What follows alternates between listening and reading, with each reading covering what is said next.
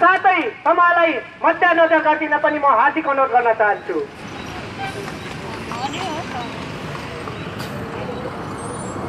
Live धन्यवाद।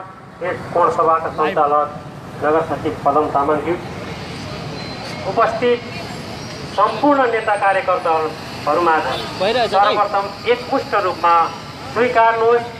सङ्घीय लोकतान्त्रिक राष्ट्रिय मञ्च सङ्घीय लिम्बुवान मञ्चको तर्फबाट र व्यक्तिगत म केदार उप्रेतीको तर्फबाट सङ्घीयवादी अभिवादन। जय लिम्बुवान।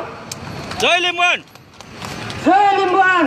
जय लिम्बन अलिक तातेन के तताउन मन लाग्यो तताउन्न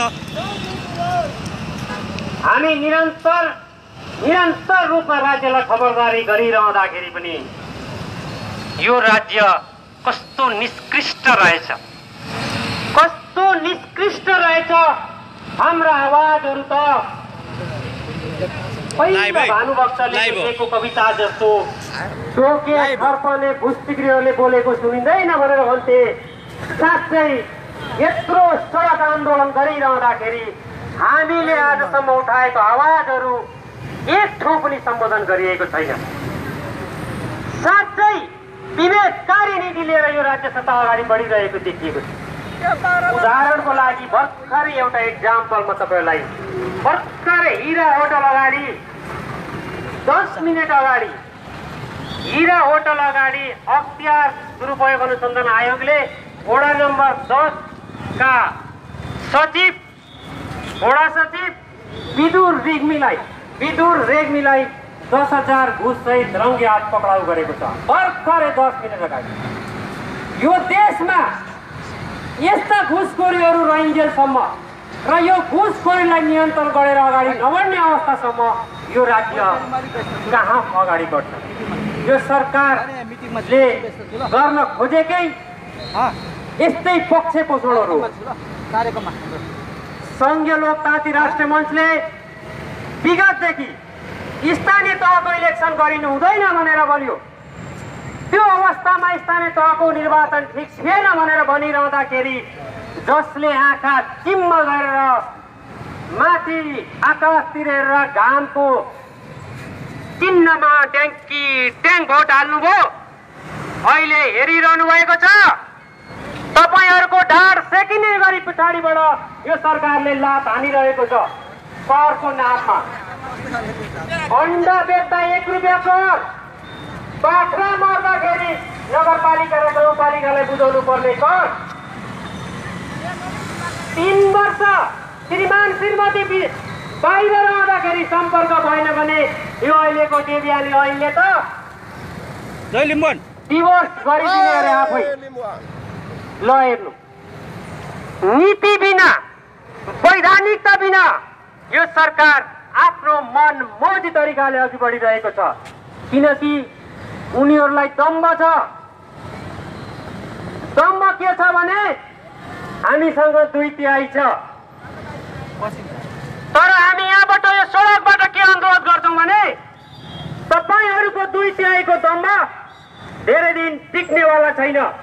किनकि राणाहरूले पनि यस्तै दम्ब गरेका थिए। आज इतिहासमा मात्रै नाम पढ्न पाइन्छ। पञ्चायत कालमा पनि यस्तै दम्ब भएको थियो। आज भर्खर इतिहास लेखिँदैछ। हुनुहुन्थ्यो भनेर। अब यो लोकतन्त्रको पहिलो र इतिहासको दोस्रो ठुलो सरकार दोस्रो शक्तिशाली सरकारको दम्ब यसरी अघि बढिरहेको छ। यसरी नै अघि बढ्ने हो भने तपाईँहरू पनि कुनै दिन इतिहासमा नाम लेखिन बाध्य हुनुहुनेछ। मित्रहरू याद गर्नुहोस् हामीले सुनिरहेका छौँ। तपाईँहरू प्रदेश नम्बर एकको प्रमुख प्रदेश नम्बर एकको डाडु पुन्यु चलाउनेहरू तपाईँहरू कुनै होटलको कुनामा बसेर कुनै रिसोर्टमा बसेर तपाईँहरू माथिबाट दिएको आदेश कार्यान्वयन कसरी गर्न सकिन्छ भनेर छलफलमा जुटिरहनु भएको छ भनेर हामीले सुनिरहेका छौँ तपाईँहरू यो राज्यलाई इतिहास र पहिचानको आधारमा नामाङ्कन गर्ने कुरामा तपाईँहरू कुनै तरिकाले लागु लागिरहनु भएको छैन भन्ने हामीले सुनिरहेका छौँ। तपाईँहरू सगरमाथा र कोशीको नाममा आज लिम्बुवान र सडकमा तपाईँहरू छलफल गरिरहनु भएको छ होटलतिर भन्ने सुनिरहेका छौँ।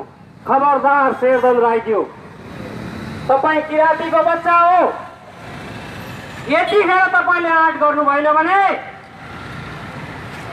तपाईँको इतिहास नै सकिनेछ। समस्या छ भने भन्नुहोस् हामीसँग। तपाईँको मुख्यमन्त्रीको पद तपाईँको जान्छ भने यदि पहिचानको आधारमा खम्बुवान देखाउँदाखेरि तपाईँको जागिर जान्छ भने भन्नुहोस्। तपाईँले खाने जागिर हामी दिन तयार छौँ। तपाईँले साठी हजार महिनाको नखाँदै हुनुहुन्छ होइन? त्यो साठी हजार महिनाको पाँच वर्षसम्म हामी दिन तयार छौँ तपाईँहरूलाई। तर एउटा आँट गर्नुहोस्। शेरधन राईज्यू हामीले भनेको पहिचानको आधारमा दस प्लस एकमा पहिलो नम्बर पूर्वबाट उदाइरहेको यो प्रदेश नम्बर एकलाई नामाङ्कन गर्ने सिलसिलामा लिम्बुवान किराँत खम्बुवान नामाङ्कन गर्नु। इतिहासभरि तपाईँहरू परिचित रहनुहुन्छ। यो शरीर त मरेर जाला तर इतिहासले तपाईँलाई सधैँभरि सम्झिरहनेछ। हामी आग्रह गर्न चाहन्छौँ। हामी बिन्तीपूर्वक हामी सडकमा सम्मानका साथ तपाईँलाई आग्रह गरिरहेका छौँ। मिडिया कर्मी साथीहरूले लेखिदिए हुन्छ हाम्रो आग्रहलाई। यदि हामीले यो आग्रह गरिरहँदाखेरि हामीले सडकमा यो तातो घाममा उफ्रेर तपाईँलाई आग्रह गरिरहँदाखेरि यो नसोच्नुहोस् फेरि। लत्याएर अघि बढ्ने प्रयास गर्नुभयो भने तपाईँको जागिर त जान्छ नै होला। यहाँ जाँदैन होला आफ्नो ठाउँमा छ। तपाईँ यो सरकार प्रमुख भएर सरकारको हालचाल भएर रहनु हुनेवाला छैन यो। यो आन्दोलनले यो लिम्बुवानको आन्दोलनले तपाईँलाई बढाएर लिएर जानेछ मित्र। यो कुरो तपाईँले याद गर्नुहोला। अहिले राज्यले के भन्न खोजिरहेको छ? यतिखेरै प्रदेश प्रमुख लिम्बूको छोरा बनाइएको छ। यतिखेरै मुख्यमन्त्री राई बनाइएको छ। अनि यतिखेरै तपाईँले पहिचानलाई नामेट गर्ने कोसिस गर्नुभयो भने इतिहासमा फेरि आन्दोलन गर्ने क्रममा उनीहरूले के भन्ने छन् भने तिमीहरूलाई दिएकै थियो त लिम्बू प्रमुख दिएकै थियो राई मन्त्री दिएकै थियो त्यतिखेरै लेखाउन सकेनौ भने अब किन आन्दोलन गर्छौ भन्ने प्रति प्रश्न उनीहरूबाट हुनेछ। त्यसैले यो अवस्था भनेको हामीले यही अवस्थामा जुनसुकै कोणबाट पनि हामीले लिम्बुवान किराँत खम्बुवान लेखाउनु पर्ने आवश्यकता छ। र त्यसका लागि यहाँ आज उपस्थित भएका यो सडकमा निक्लिनुभएका लिम्बुवान प्रेमी र सम्पूर्ण म जनतालाई हार्दिक अपिल गर्न चाहन्छु यो पहिचानको आन्दोलनमा एकाकार भएर लागौँ गोलबद्ध भएर लागौँ। किराँत खम्बुवान लिम्बुवान लेखाउनका लागि लिम्बुवान किराँत खम्बुवान लेखाउनका लागि यही बेला। भदौ छ गतेसम्म सदन स्थापित भएको छ। प्रदेश सभा सदन सात सात गते टेबलिङ हुन्छ होला। उहाँहरू आफ्नै होटलमा बसेर लुकी लुकी आफ्ना सांसदहरूलाई छलफलमा ल्याइरहनु भएको छ। छलफल चलाइरहनु भएको छ। कम्तीमा तिमीहरूले भोटिङ भयो भने त्यो हामीले भनेको कुरा मानिदेऊ भनेर माथि केन्द्रमा सरप्रसाद ओलीदेखि लिएर तलसम्मलाई डिसिजन आइरहेको होला। धेरैजना पहिचानका मुद्दामा लाग्नुभएका धेरै पार्टीहरू हुनुहुन्छ। उहाँहरूलाई पनि म यही स्टेजबाट हार्दिक अनुरोध गर्न चाहन्छु। यो बेला तपाईँहरू आउनु भएन भने यो बेला सडकमा आउनु भएन भने यो नामाङ्कनको बेला तपाईँहरू अगाडि बढ्नु भएन भने फेरि पनि तपाईँहरू हजार वर्ष पछाडि पर्नुहुनेछ भन्दै म यहाँबाट बिदा हुन्छु। धन्यवाद। जय लिमन जय लिम्बुवान।